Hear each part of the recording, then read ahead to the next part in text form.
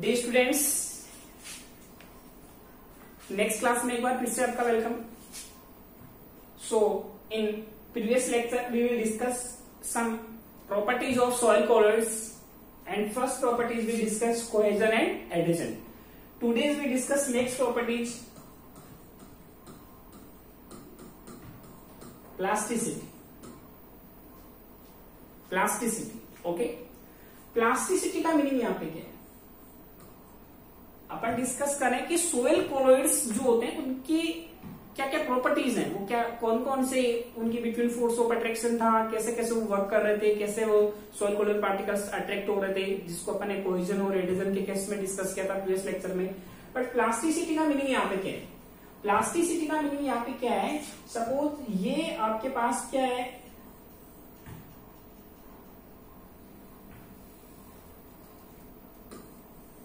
ये आपके पास कोई बीकर है। इस बीकर में आपने क्या ले रखा है? सोयल कोडल सोयल फिल करेंगे ये सोयल कोडल पार्टिकल्स है। इस बीकर में क्या है? Soil colloidal particles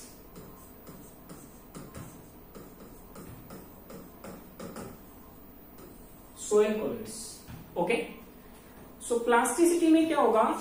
प्लास्टिसिटी का मीनिंग क्या होता है? प्लास्टिसिटी का मीनिंग क्या होता है? आपको क्या करना है? आपको इस सोइल कोडल पार्टिकल्स पे फोर्स एग्जेक्ट करना है।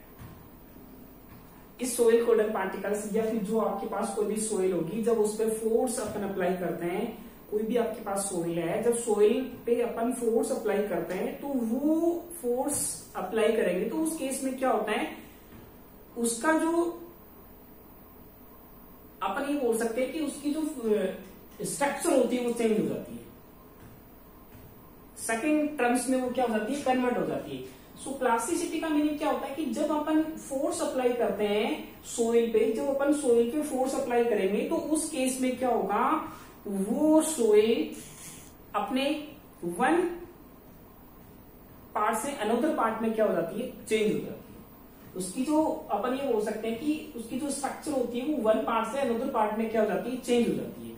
आप इस वजह से बोल सकते हो कि जब आप इस पे फोर्स लगाते हो तो उसके वो वन पार्ट से अनदर पार्ट में क्या हो जाती है? कन्वर्ट हो जाती है। उसकी फिजिकली जो स्ट्रक्चर होती है, वो चेंज हो जाती है। इसी को अपन प्लास्टिसिटी बोलते हैं।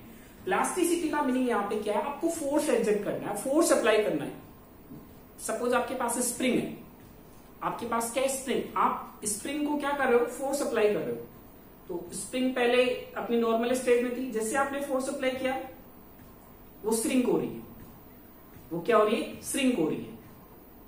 तो उसका जो फॉर्मेट था वो चेंज हुआ। आपने फोर्स अप्लाई किया और फोर्स स्प्रिंग पे आपने फोर्स अप्लाई किया तो फोर्स अप्लाई करने से उसका जो स्ट्रक्चर है वो चेंज हो रहा है। बट आपने जैसे ही फोर्स रिमूव किया, अपन जैसे ही वहाँ से फोर्स हटा लेते हैं, वैसे ही वो अपने नॉर्मल स्टेज में आ जाती है वापस से। इसी फिनोमिनन को बोलते हैं प्लास्टिसिटी सेम कंडीशन यहाँ पे होती है सोयल कोलर्स के केस में। सोयल कोलर्स के केस में। ओके तो प्लास्टिसिटी का मीनिंग क्या है यहाँ पे? जब अपन सोइल पे फोर्स एडजस्ट करते हैं फोर्स अप्लाई करते हैं, उस केस में क्या होता है? उसकी जो स्ट्रक्चर होती है, वो वन फ़ेज़ से अनदर फ़ेज़ में कन्वर्ट हो जाती है। आप स्प्रिंग से समझ सकते हैं इसको। आप जब स्प्रिंग पे फोर्स अप्लाई करते हैं तो वो स्प्रिंग हो जाती है। वापस से हटाते हैं तो वापस एक नॉर्मल स्टेज में आ जाती है। इसको प्लास्टिसिटी बोलते हैं। This phenomenon is known as plasticity okay plasticity का मीनिंग यहाँ पे क्या है कि जो अपन सोइल पे फोर्स एग्जेक्ट करते हैं तो उसका जो फिजिकली स्ट्रक्चर है, वो वन फ़ेज़ से अनदर फ़ेज़ में कन्वर्ट हो जाता है और जैसे फोर्स रिमूव करते हैं, वो अपने वापस से इनिशियल स्टेज में आ जाती है। इसी फिनोमिनल को बोलते हैं प्लास्टिसिटी ओके प्लास्टिसिटी समझ में आया होगा? प्लास्टिसिटी का मीनिंग यहाँ पे क्या है? आपको कि अपन जैसे ही सॉइल कोलेट्स पे फोर्स एग्जेक्ट करते हैं, वो श्रिंक हो जाती है। और जैसे ही फोर्स हटता है, वो वापस अपनी इनिशियल स्टेज में आ जाती है। इसको अपन क्या बोलते हैं? सोयल प्लास्टिसिटी ये प्लास्टिसिटी वाला जो कंडीशन होता है, वो मोस्टली क्या होता है? एक सिलिकेट क्ले होती है। सिलिकेट क्ले जो अपन आगे डिस्कस करेंगे। सिलिकेट क्ले और सिलिकेट क्ले का एक पार्ट होता है मोन्ट मोरेनोलाइट मोन्ट मोरिनोलाइट ओके ये अपन डिस्कस करेंगे आगे। नेक्स्ट पार्ट में आ जाएगा मॉडर्नोलाइट सिलिकेट क्ले जो सोयल के पार्ट कुछ अपन क्लासिफिकेशन में डिस्कस करेंगे वाली बात ठीक है? सो so, प्लास्टिसिटी का मीनिंग क्या था यहाँ पे? प्लास्टिसिटी का मीनिंग ये है कि जब अपन सोइल पे फोर्स अप्लाई करते हैं तो वह अपनी इनिशियल स्टेज से अनोदर स्टेज में कन्वर्ट हो जाती है और जैसे ही फोर्स रिमूव होता है अपनी इनिशियल स्टेज में वापस से आ जाती है। ऐसा होता है सोइल में। इसी को, इस फिनोमिनल को क्या बोलते हैं? प्लास्टिसिटी बोलते हैं। और ये जो प्लास्टिसिटी वाला जो कंडीशन होता है, वो मोस्टली सिलिकेट क्ले का जो मोन मोरेनोलाइट ग्रुप होता है, ये अपन डिस्कस करेंगे आगे। इनमें मैक्सिमम शो होता है।